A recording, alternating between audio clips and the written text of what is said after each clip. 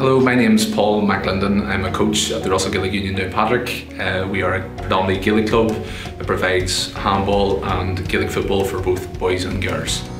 The Russell Gaelic Union has received, Downpatrick has received funding uh, this last two years to provide a Friday night winter programme predominantly for uh, primary school kids up to primary 7 and then a strength and conditioning programme for our older boys and girls from 13 to 15.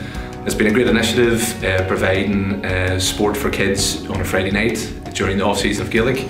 It also uh, it has a sense of community where we are getting kids from the surrounding areas in the Downpatrick to provide a positive experience for them over the winter. We in the Russell Gaelic Union feel that uh, through the activities we provide, we're providing a safe uh, haven for children uh, who then have an affinity with the local community and you're building bonds that stop antisocial behaviour and uh, removing or taking kids from the street on a Friday night and put them down a positive path in terms of sport, uh, education uh, and engagement with uh, the wider community.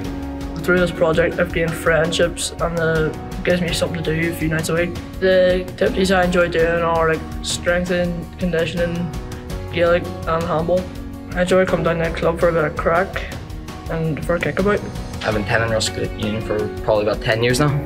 I attend about three to four times a week. I've enjoyed handball and uh, Gaelic as well as some strength and conditioning. I've gained like many friendships with um, a lot of my closer friends are I've met through the Russell Gaelic Union as well as I've been able to learn a lot about how my body works and what I can do to improve my strength.